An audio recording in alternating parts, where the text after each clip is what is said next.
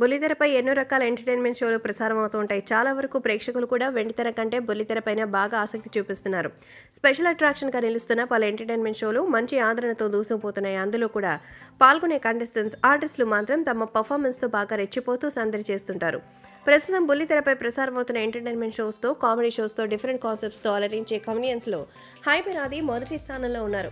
ఈయన చేసే పంచల గురించి ఎంత చెప్పినా తక్కువే. ఎందుకంటే తన కామెడీతో ఎంతోమంది అభిమానుల్ని సంపాదించుకున్నారు. బుల్లితెరపై స్టార్ కమెడియన్గా నిలదొక్కున్నారు ప్రతి ఒక్కరిని ఉద్దేశిస్తూ బాగా పంచులు వేస్తారు. ఈటీవీలో ప్రసారమవుతున్న జబర్దస్త్ షో ద్వారా తొలిసారిగా పరిచయం అయ్యాడు హైపరాది. ఇందులో ఒకరి టీంలో చేరి ఆ తర్వాత తనే ఒక టీంలో లీడర్గా మారారు.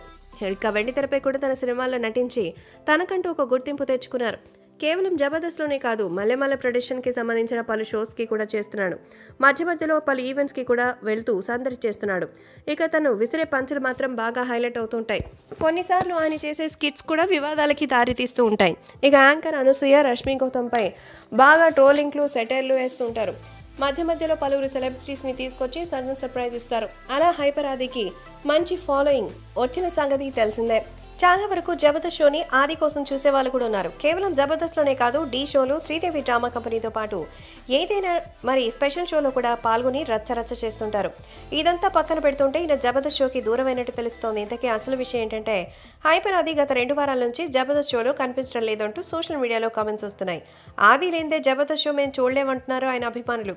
ఈ వారం సంబంధించిన జబర్దస్త్ షో ఎపిసోడ్ కూడా యూట్యూబ్లో ప్రసారం అవగా అందులో కామెంట్లు చూసినట్టయితే ఆది కనిపించడం లేదన్నట్టు మెసేజ్లు వస్తున్నాయి. రెండు వారాల నుంచి ఆయన జబర్దస్త్లో కనిపించడం లేదంటూ ఆందోళన చెందుతున్నారు. ఈయన జబర్దస్త్కి దూరం కావడానికి కారణం ఆయన ఇతర షోల్లో బిజీగా ఉన్నారనేదే. వేరైతే ఏమీ లేదు. ఎందుకంటే శ్రీదేవి డ్రామా కంపెనీలో చూస్తే కనిపిస్తున్నారుగా. కాబట్టి దానికైతే దూరం ఏం అవ్వట్లేదు.